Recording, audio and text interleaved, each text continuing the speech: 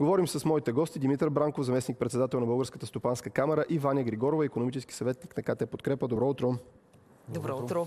Имаме заявка от вчера вечерта. Появи се публикация в 24 часа за нов пакет от мерки. Дори има и конкретика. 2 милиарда ще надграждат това, което до момента е помогнато на бизнеса и на различните сфери. До края на 2020 е имало няколко вида мерки. Едните ще са още в рамките на тази календарна година, такива дори, които ще се предлагат до есента, за да подпомогнат и родителите, които подготвят децата си за първия учебен ден. необходимо ли е това? трябва ли според вас онова, което държавата до момента направи като помощ на бизнеса и на, на хората, да бъде надградено. Работи ли и то до момента, това, което беше свършено? Аз многократно съм казвала, че това, което беше направено от правителството е крайно недостатъчно. Ако си спомняте, тогава беше заявено, че за мярката 60 на 40 ще бъдат изразходвани, т.е. беше отделен бюджет 1 милиард лева, като се очакваше той да не стигне. Сега става ясно, че всъщност около 150 милиона лева са изхарчени по тази мярка, която е 15% от, това. от цялата сума. Това показва, че парите не са стигнали до нуждаещите се фирми и служители в крайна сметка. Ако погледнем другата по-голяма мярка, безлихвените кредити за хората в неплатен отпуск, там по данни на ББР заявките, молбите са около 21 хиляди и половината от тях са удовлетворени. Това очевидно е крайно недостатъчно. Тоест, когато ни кажат, че ще има 2 милиарда лева бюджет, ние трябва да останем все още скептични, докато не видим по какви правила ще бъдат раздавани. Защото ти можеш да поставиш една купичка с храна пред едно гладно куче, само че върху нея да сложиш капак и то да не може да стигне до нея. Да, и големия въпрос дали парите ще бъдат давани на кълпак. Как, кой ще определя а, това сито, да, до кого и към кого са насочени тези пари. Господин Бранков, а да гледаме ли показателя колко работни места са спасени? Защото и това излиза като информация. 160 хиляди са до момента а, така, спасените работни места по мярката 60 на 40. Трябва ли обаче коригиране и ревизия на тази мярка? И при около 100 хиляди безработни, нови безработни спрямо Официално. и то по регистрираната безработица, тъй като знаете, че по различен начин не мерим. Ако я мерим през статистиката, заедно с обезкуражените лица, вероятно са много повече. Тоест в момента целта действително е стимули за работни места и за растеж. Обаче държа да подчертая, че всичко това ние го правим в една среда на нереформирани структури и области на политики. Тоест ние сега ще наливаме пари, вероятно с добри намерения, най-вече това, което успях да прочита подкрепата за пенсионерите е изключително важно, тъй като през последните години ние им изоставане на пенсиите като темп на ръст спрямо останалите доходи, спрямо работните заплати най-вече. Но големия принципният въпрос е за това кризисно управление. Ние просто мерки ли ще правим или ще проектираме едно кризисно управление. преди малко дори прочетах нещо, което може би всички знаем, но все пак да акцентирам.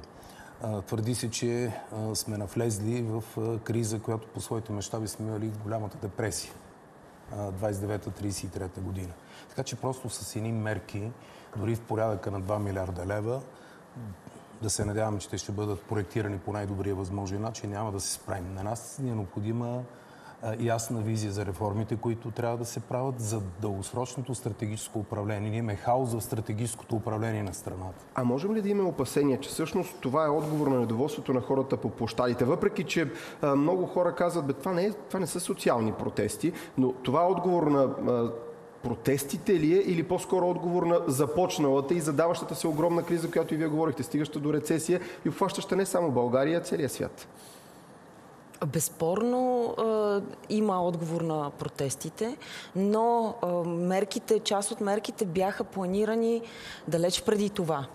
В крайна сметка, недоволството според мен на този протест, първо, че започна от безобразните действия на прокурора Гешев, но то, то е допълнително катализира и цялото социално напрежение, което се беше нагнетило по време на извънредното положение, пък и, пък и по време на извънредната епидемиология аналогична обстановка.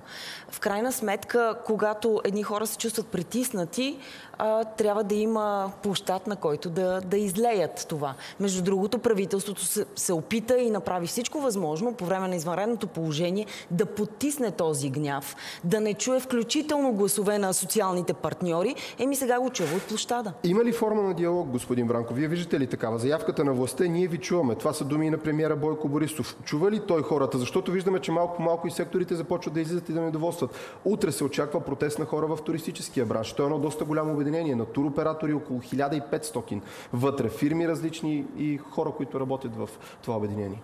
Разбира се, формата на, на диалог с различните сектори, знаем през последните месеци, пък и години, ако щете, беше воден.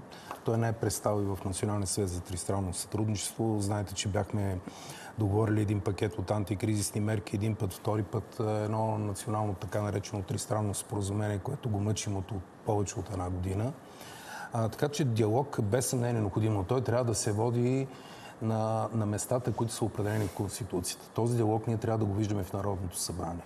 Когато говорим, защото аз твърда, че освен за кризисно управление, не просто мерки, а за кризисно управление, ние трябва да го съчетаем, защото момента е най-важният момент, бих казал, в дългосрочната стратегическа рамка на страната, във връзки с това, което Европейския съюз в момента преговаря по дългосрочната финансова рамка. Подчертавам, ние нямаме органи, институции, качествени, които да, да управляват дългосрочното стратегическо управление на страната. Какво имам предвид? 2010 година Симеон Дянков закри Агенцията за прогнози и анализи, която се занимаваше с а, една специфична дейност, за която ние в момента нямаме институции.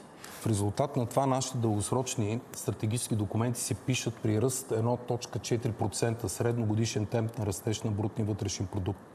Това е което Министерство на финансите подава на Министерство на енергетиката, на Министерство на транспорта, когато те чертаят дългосрочната стратегическа рамка. А момента за нас по още една причина е много важен. влизането в ИРМ-2 означава нов дневен ред някакси много малко хора се замислят върху това, че някой трябва да го напише този нов дневен ред и да го изпълнява. И това е въпрос на взаимодействие между Министерски съвет и законодателната власт. Този диалог трябва да се води там по най, така да се каже, дългата рамка, дългите фарове. Късите фарове, да, кризисното управление, но дългите фарове е това, което липсва в момента. Да, вие казвате за рисковете от това, че наистина не се очертават, не се оформят и не се коментират и то и в общество, и в политически елит тези дългосрочни перспективи. И това, ето, примерно, заявката. България отива и договаряме 29 милиарда, които ще бъдат дадени в рамките на 7 години. Казваме, че има 2 милиарда повече, но ние не знаем за какво ще, дава, ще бъдат давани тези пари. Отделно от това правим точно в този труден период едни министерски политически рокади. Опасно ли е това? Къде виждате вие голямата опасност, госпожо Григорова? Ами, господин Бранков преди малко казал голямата опасност. Това, че ние не знаем какво ще правим и не го знаем, защото едни държавни структури, които би трябвало да правят тези прогнози, вече ги няма. Между другото, още тогава е заложен целият срив в държавните агенции, които трябваше да обслужват хората, които останаха без работа. Само да кажем, че имаше случаи, и то не е рядко, в които два месеца човек трябваше да чака разпореждане от НОЙ, за да му бъде отпуснато дължимото му обещетение за безработица. И то е защото държавните агенции са обезкървени. А те са обезкървени поради отново реформата на Дянков. Тоест, нека да се изсипе а, така благодатен дъжд от пари, когато ние не знаем какво да ги правим, те единствено могат да отидат към близки фирми. Друго няма какво да се случи. Някъде ми попадна едно заглавие за това, че вече бившият финансов министр Владислав Горанов не е послушал съвета, който Кристалина Георгиева отправи към всички държави в тази тежка економическа обстановка. Държавите да харчат повече пари. Оказва се, че ние пак сме на излишък. Нещо, което всяка година наблюдаваме. Рисково ли е това в една така обстановка? Трябва ли наистина държавите да започнат да стимулират вътрешното си потребление и защо не го правим ние? Аз бих сложил още един акцент – инвестициите защото растежа в крайна сметка се генерира от нови работни места а, и от инвестиции. А това е което липсва в нашата економика. Освен това, момента е много, как да кажа, ключово значим и в голяма степен неопределен от гледна точка на това, че ние сме валутен борт. При нас кризите идват по-късно, но, но се задълбочават повече, отколкото в другите държави. Силно се надявам това в момента, в настоящия момент да не се случи. Но това, което наблюдавахме 9 10-11 година в България, сравнение спрямо останалата част на източна Европа в Европейски съюз, беше точно това. Забавено влизане в кризата, но много по-дълбоко влизане и по-бавно излизане от тази криза. А, и точно поради тази причина е важен момента за влизането в ИРМ-2 и необходимостта а, действително да се подходи сериозно към това, кои институции в страната се занимават за дългосрочното економическо управление. Избягвам думата планиране. Тя за вас по-младите може би няма този смисъл, но за по-възрастните едва ли не е мръсна дума в български язик. Но нищо не става без план, без отговорности, без контрол на това, кое как се изпълнява включително на ниво държавна администрация.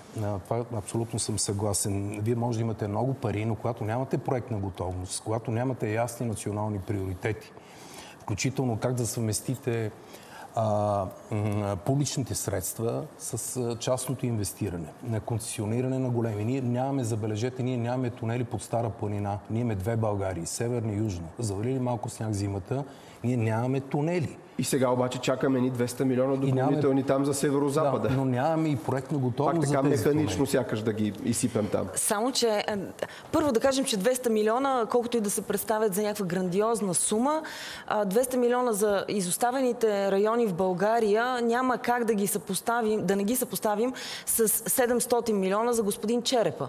Нали? Не, очевидно няма как да помогнем на, цели, на цяла страна с 200 милиона.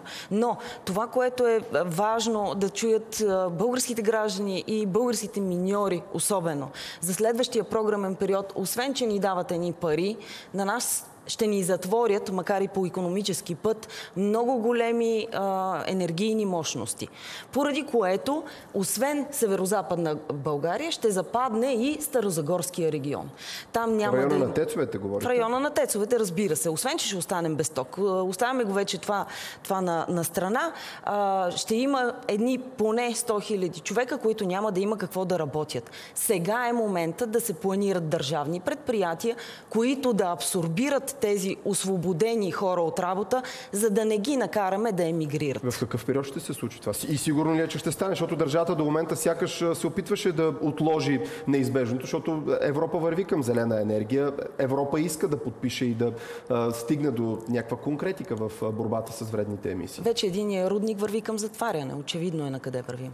Сега, със сигурност това ще се случи. Прав сте, когато задавате въпроса в каква рамка, кога ще се случи това ограничение от гледна точка на срок няма към момента и не би, не би могло да има. Ограниченията са по-скоро цената на емисиите, които заплащат тези тецове и които правят производство нерентабилно, неконкурентно способно. То технически няма да бъде осъществимо при тези цени, при тези разходи, при тази себестоеност. Те са забранителни всъщност. Те са фактически забранителни.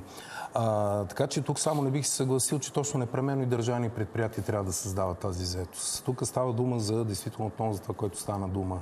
Дългосрочна визия за развитие на отделните отрасли, а, на економиката като цяло. И по това моето впечатление е, че се работи, но се работи на парче в този консултивен съвет по Европейския зелен пакт биха могли да се сроточат усилията и държавните институции, така че да имаме синхронизиране между всички стратегически планове, които имаме. Тъй като ние в момента нямаме тази синхронизация.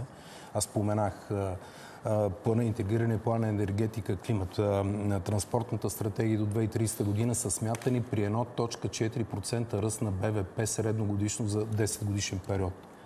Това е темп, който ще обезлюди допълнително България, ако бъде реализиран. Мисля, че всички се сещаме за това.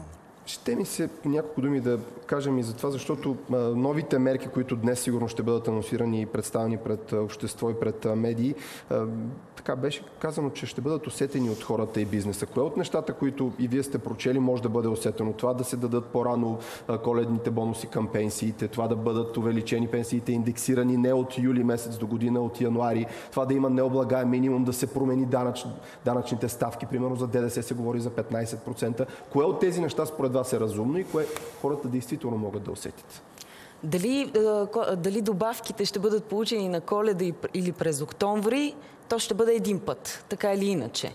А, юли е след планираните парламентарни избори и затова е хубаво да се изтеглят по-рано, за да има с какво да се похвалим. В този смисъл а, значими промени поне от анонса не се виждат а, в тази посока на хвърляне на пари, както те обичат да го казват, а, но а, има нещо за отбелязване.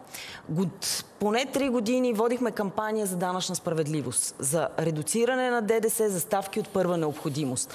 Тогава госпожа Менда Стоянова заяви, синдикатите, ако искат да променят данъците, нека да си направят партия и да влезнат и да в, така, в парламента и правителството и да правят промени. Е, видяха, че се налага това да се направи, защото то е разумно, но го направиха по възможно най-лошия начин. Същото сега с необлагаемия минимум. Много е важно как ще бъде направен, защото ако бъде направен по начина, по който беше направен по времето на господин Орешарски, по-добре да не го правят. но виждаме, че ДДС, необлагаем минимум. Разбира се, че трябва да се натоварят повече а, хората с по-сериозни банкови сметки, а не само господин Борисов да повтаряме, вижте им колите, вижте им сметките. Ми не, вие ги виждате, направете нещо след като ги виждате. Говорим за да за можем... богатство, който също... Примерно, за да може да се сподели в крайна сметка тежеста от кризата. Между другото, вчера имаше на протести и вие го излъчихте а, така, едни плакати. Нека богатите да плащат за тяхната криза. Ето това говорим поне от 3 години. Господин Бранков, кой да плати за тази криза накратичко? Ами вижте, опасявам се, че тук пак влизаме в канала на популизма. Това са а, дълбоки промени за тези, които споменахте, които изискват а, обществен и експертен дебат и време за дебат. Те не могат да стават те така просто с штракане на пръсти, защото се е появила някаква моментна нужда а, да правим нещо те изискват публичен и експертен дебат, който не може да трае един или два месеца, сега в условията на криза. Именно поради това официалната позиция на Стопанска камера, че всички по-дълбоки промени в данъчното законодателство трябва да се случат след като прескочиме следващия период. Периода между ИРМ-2 и влизането в еврозоната. Така че националната цел в случая е по-кратък престой, ако може две години, две и половина, три години, не повече, четири години може би най-много и влизане в ИРМ-2 в този период ние ще водим без съмнение една разумна, би трябвало да водим разумна фискална политика, така че всички радикални данъчни промени трябва да си мислят в един малко по-късен период. Вижте, да. необлагаемия минимум не е популизъм. То е нормалност, от която ние се опитваме да бягаме вече а, 10 години и повече. Не може. Но аз бих казал Обратната контрааргумент е подоходно, семейно да. подоходно облагане. Ама едното не противоречи на другото. А, отново е необходим експертен дебат, то не може да стане. Ние го водим, Ето, три години да. го водим. За един месец то не може да се водим случи и сега август месец няма да стане. Разговора и между другото продължава с представител на социална комисия в парламента, представител на партия ГЕРБ, да видим той какво ще каже във важната седмица и за тях, преди да излязат в парламентарна вакансия. Останете с нас.